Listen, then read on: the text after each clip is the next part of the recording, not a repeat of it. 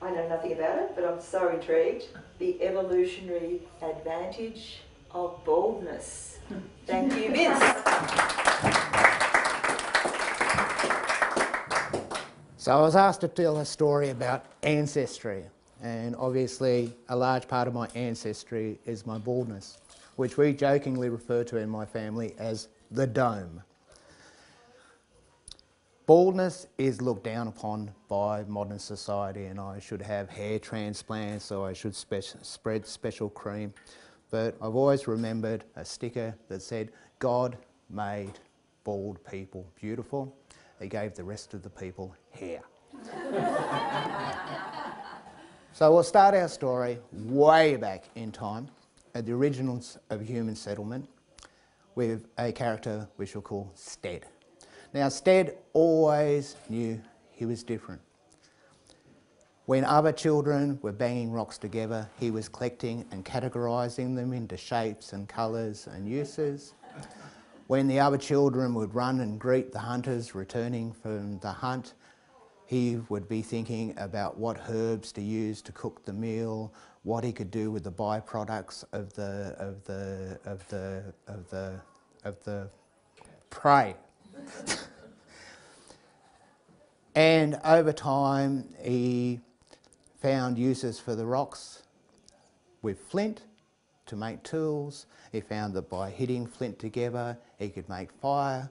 From the ash that he could fertilise plants. From that, they planted seeds in prepared dirt prepared with the, the ash and then mixing the ash with the rocks and the mud, they discovered bricks and gradually life improved in the village and when it came to his initiation time, he was christened Baldahar, he who thinks.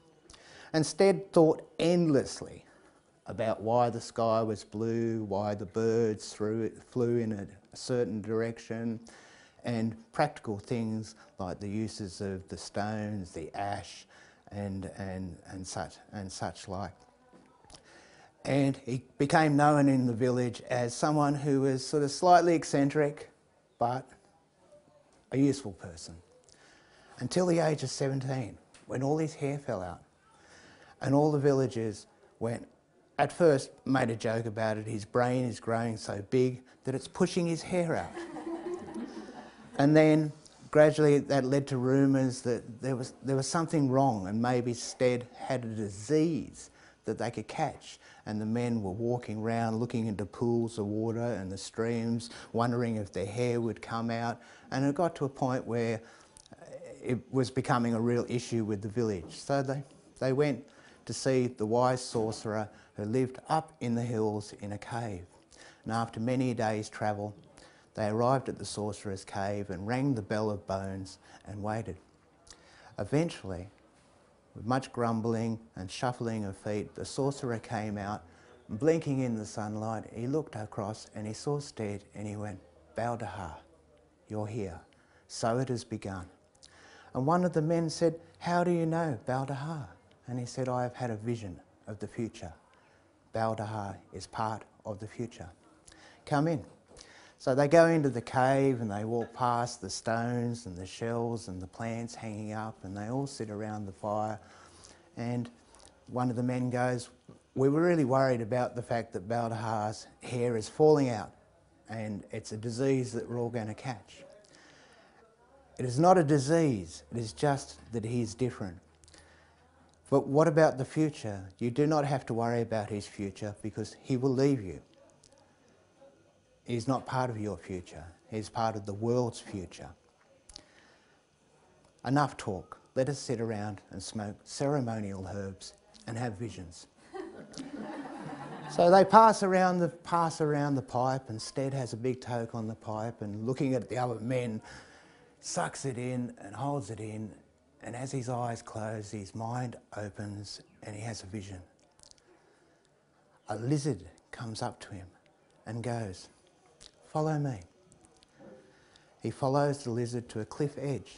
The lizard goes, Jump. And he jumps. And he floats down and he's floating down a river and he sees the apparition of a woman's face.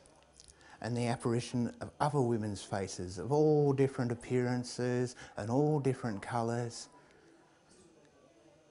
And then he wakes up and he's beside the fire. And the sorcerer goes, Did you see it? And he went, Yes. And he goes, You, your destiny is to go from the lizard's tongue, through the lizard's eye, down the water to your fate. You must always remember to use your brain and to use your hands. Do you understand? And Stead goes, But what about the women? And the sorcerer goes, Don't get excited. Only one woman is for you, the other women are your children's destiny. And so they get up, they go back to camp, and life goes on relatively normally until one day he's out hunting with his friend Grog.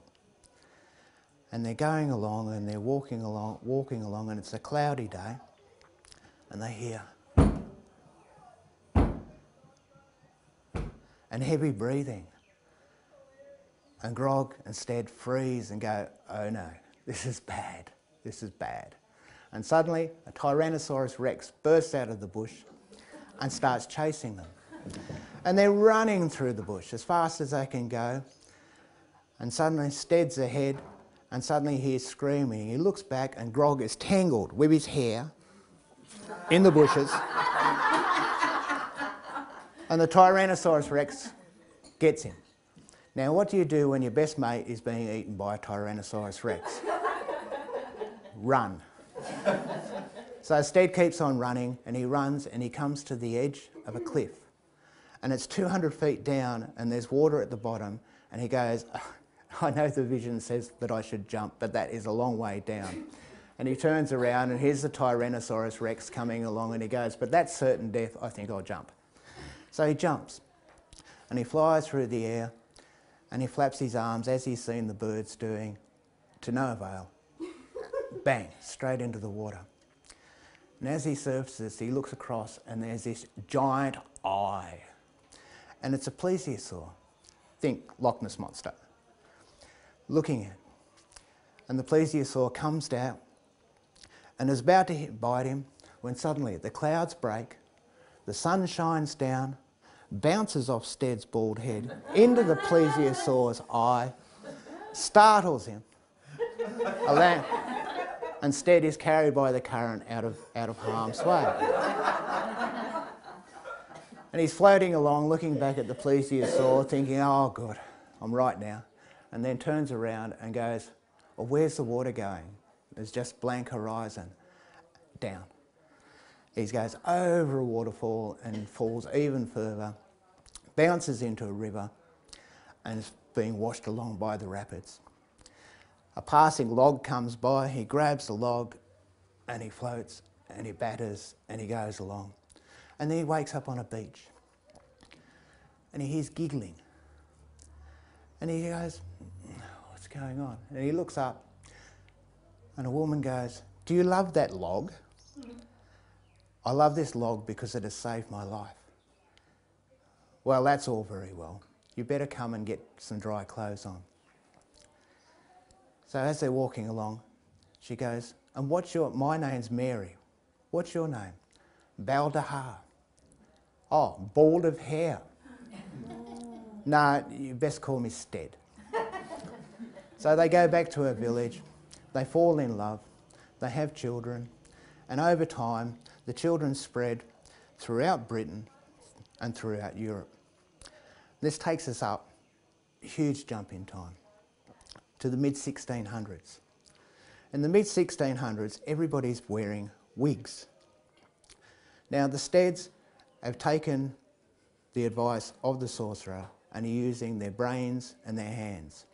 So they're mostly farmers and artisans and if you look back through my history, nobody goes above middle management. Everybody's, everybody works with their, everybody works with their, their hands, It's generally connected with their art or with, with their um, farming, basically using their, their, their brains and their brains and their hands. And not so much intelligence, but ingenuity. Because we've got bigger brains, because we've got bald heads, forced all the hair out. In the 1600s, you start seeing Steads catching ships and going overseas. We have W. Stead, the journalist, ending up in the Congo and then going back to Belgium and arguing with the king about how the Belgian people are treating the Congolese people. You have people, um, Wystead, turning up in America and he and his sons buy uh, wagons and go travelling, uh, travelling, around the, travelling around the place. You have a Stead in Australia who is um, commemorated on a penny, Stead and Company gross Grocers. And a funny story connected with him is he has a menagerie of animals. And there's a, a newspaper headline of how Stead's monkey has escaped and been very mischievous and caused much hilarity as it went around causing, cause, causing problems. My branch of the family stayed in England until 200 years ago. And then, for reasons that I don't know, they split into three different directions. One branch went to Scotland and Germany and then ended up settling on the central coast. Another branch went to Can Canada and then back to Burrell and Ivanhoe in southern New South Wales.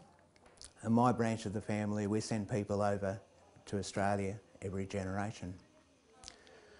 I was born in Cuckfield in England. My parents were itinerant dairy farmers and they went to agricultural college together and they ended up having their romance on farms on separate parts, different ends of England. Apparently the wedding ring went back and forwards in the post as they sorted out their differences. But very different people. My father is a very quiet man, very a, a thinker. Uh, my mother is also a thinker, but she's also a very loud woman and a talker. And classic story of my mother is talking on the phone for an hour and a half one day, laughing, carrying on. And I said, who was that? Oh, wrong number.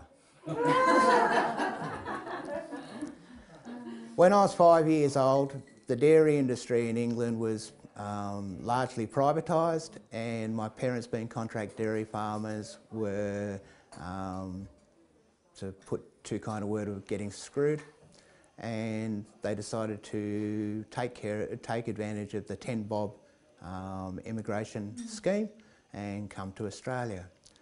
Uh, we were first in a hostel in Newcastle um, which was pretty ordinary. It was built on a um, industrial area and I remember a friend and I going out into the industrial area and kept capturing tab tadpoles in radioactive pools of water. Eventually my dad was a labourer for BHP and then a labourer at a building site and eventually got a job as a dairy farmer at Orangeville which was at the back of Camden, down near Campbelltown, outside of Sydney. And back then uh, was the bush, the bush. And my mother was determined that we become Australian. We had geraniums, we made lamingtons, we had barbecues, we had a parrot that we taught to sing Pop Goes the Weasel. My mother nearly went insane with the cicadas, just gee all the time, and frequently used to drive down the road saying that she was going to run away, but it was okay. She always came back. She, my brother came, uh, my sister and I were born in England. My brother was born over in Australia, and he was interesting in the fact that he was the first idea that I had of genetics in the Stead family. I knew that my great-grandfather was a Norwegian sea captain, hence I had a red beard. It's grey now, but it used to be red. And I knew that my mother, whose maiden name was Gherkin, had German ancestry. But beyond that, I hadn't really thought about it until my brother came along and my sister and I are both blonde and pale skinned, and he was a brunette with dark skin to the point where, in a middle class white Australian um, setting, everybody thought he was adopted. And he was actually a Celtic throwback that comes back once every generation. And um, on my mother's side, his cousin is also a dark, dark, dark skinned person. And it sort of introduced me to the idea of how the Steads were a bit beyond just Stead. They were involved the genetics of other people. And if we think back to Baldahar, how he had visions of different women from different countries and different races, you start to see what's where the story's going. Grew up in Camden, went up to Armidale, studied in Armidale, specialising in drinking at the University Bistro. I, I, would have got my I would have got my PhD in bistrology, but I couldn't behave myself when I was drunk. I managed to get uh, qualified as a biological technician, and then sitting around the university bar looking around, I thought these people are doing university, I can do university too, and started a Bachelor of Arts, majoring in, majoring in sociology.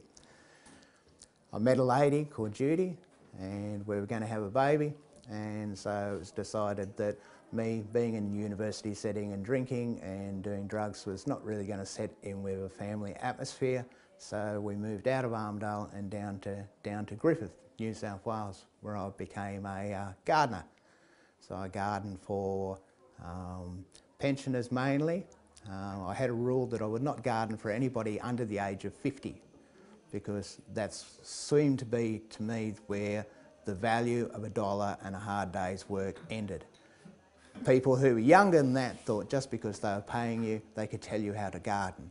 Well, it's pretty pointless telling me how to garden because I have generations of it behind me and I knew what I was doing for, the, doing for a job.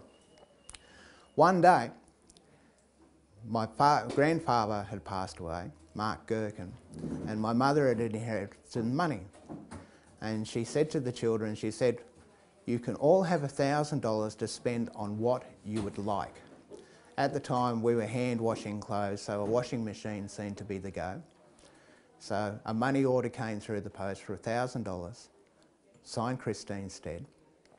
And I went to the post office and I gave the money order to the, to the, to the lady, behind the, lady behind the counter.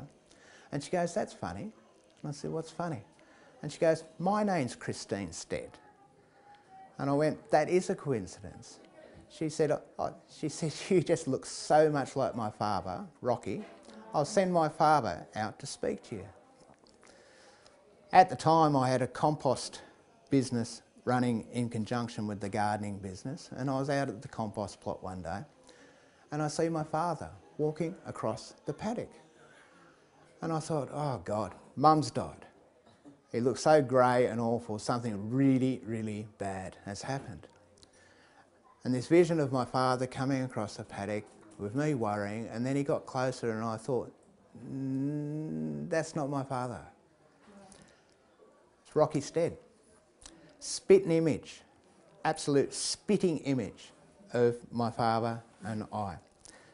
Bald head, ended up having the same sense of humour, ended up that his branch of the family were the people who'd been to Canada and come back to Burrill and Ivanhoe, which is just down the road from down, down the road from Griffith, which explained the story, which explained quite often I'd have people running up to me and go, oh, there, Oh, it's not you. There's people who look like me. Anyway, we're talking to, talking to Rocky Stead, and it turned out he was able to introduce my mother to the um, resident genealogist of their family, and together they were able to put down the picture of what had happened to the Steads. Continuing on with genetics, the last generation is kind of interesting in the fact that my partner Judy on one side is related to Governor Lachlan Macquarie. On the other side, she's related to convict Celts. And between us, we've produced a bald-headed boy who has fortunately had his mother's good looks and my sense of humour. My brother has married a lady who is Fijian on one side and Maori on the other side and looks Egyptian and has produced some beautiful, beautiful children, three beautiful children. My sister had the bad fortune to meet a mad Scotsman and one of her children has, the girl has gone on the Scotsman side and she's short and very angry and the two boys are big boned like the Steads, and as far as I know, are going to lose their hair too. So that's pretty much the history of the Steads. Thank you. Wow.